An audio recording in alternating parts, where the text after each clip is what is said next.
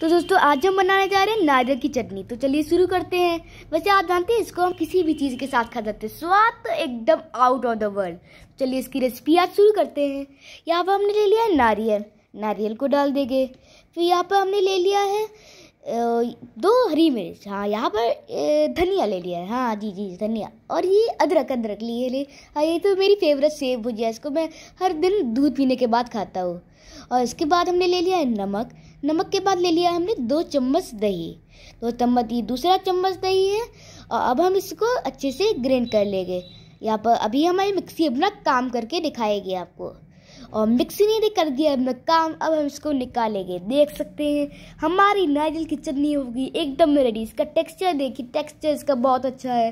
एकदम क्या बताए, इसका स्वाद भी एकदम आउट ऑफ़ द वर्ल्ड आप इसको डोसा ब्रेड पकौड़ा नॉर्मल पकौड़ा, किसी भी चीज़ के साथ खा सकते हैं।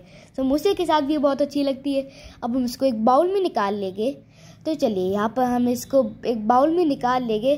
अब देख सकते हैं कितनी अच्छी लग रही है। वैसे आप चाहे तो उसमें नींबू भी डाल सकते हैं। नींबू से भी खट्टी हो जाएगी और उसका टेस्ट और अच्छा आ जाएगा। आप आप देख सकते हैं हमारी नारियल की चटनी एकदम रेडी हो गई है। और प्लीज़ सब्सक्राइब कर दीजिए लाइक कर दीजिए। अगर हमारी वीडियो आई तो कमेंट कर दीजिए। जय श्री कृष्णा।